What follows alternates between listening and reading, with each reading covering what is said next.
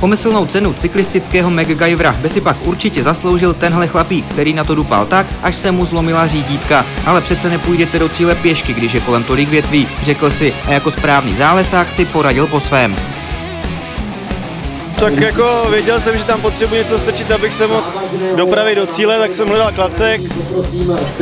Chvilku jsem lámal, abych, abych se dostal na správný průměr, ale pak se mi tam podařilo něco strčit a docela jsem byl překvapený, že to funguje, že jako na tom jde jet, takže post tak jsem 4 km prostě se také dojel. No.